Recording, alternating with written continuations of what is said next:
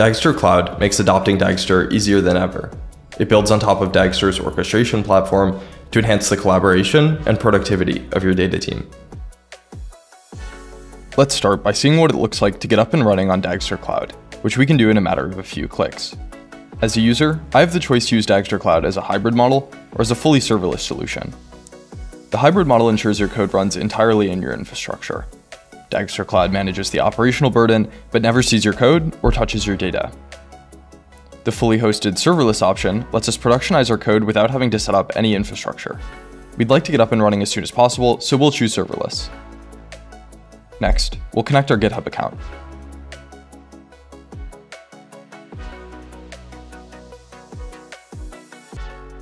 We could load some pre-existing Dagster code, but we'll instead have Dagster Cloud template some example code in our account for us, automatically set up with CI/CD.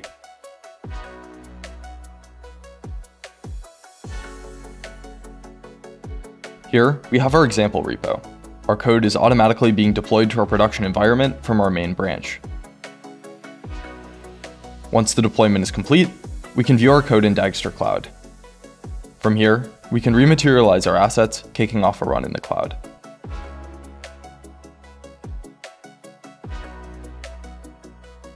With our code successfully running, let's go ahead and make a change. We'll open up the source file in our GitHub repo.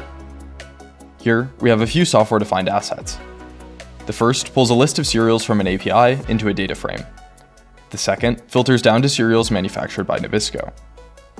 We'll add another asset which filters down to cereals manufactured by Quaker.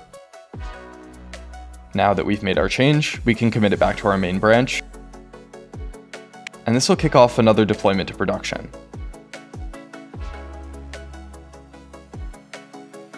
After a few moments, our new asset is live in production and ready to be materialized. Dagster Cloud is built to scale with the size of your data team and your data workflows.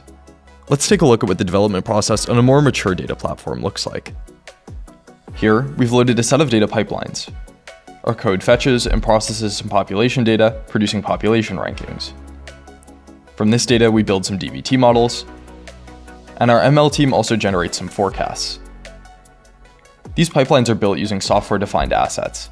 To see more about how this codebase was built, check out our intro video on software-defined assets. By deploying our code to Dagster Cloud, we can ensure our assets are reliably up to date. But Dagster Cloud isn't just a platform to run your code. It's built to supercharge the entire developer workflow, helping your team build, modify, test, and deploy their data workflows with confidence. A change begins in the local environment, where developers write their code. Let's go ahead and expand on our existing set of assets by adding some assets representing country GDP. We'll start by adding some imports. Next, we'll add a country GDP asset.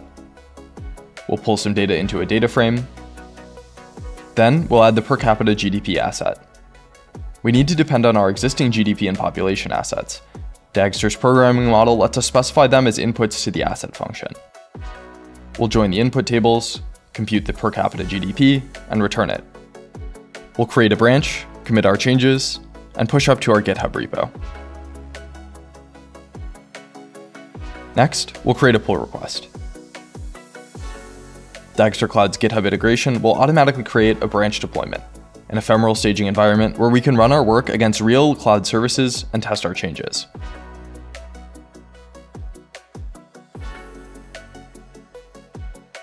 After a few moments, our branch deployment is ready.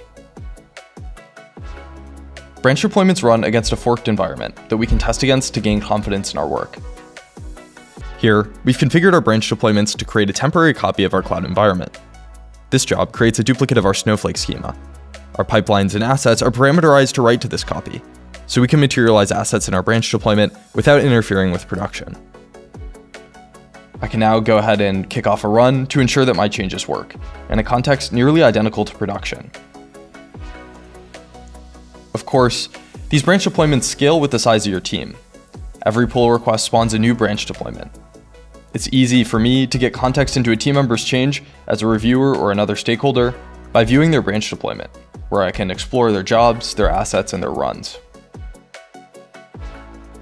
Once I'm ready to merge my change, deploying to production is as easy as simply merging the pull request. Once the deploy is complete, I can go view my new assets live in the production environment, ready to be materialized for the first time in production.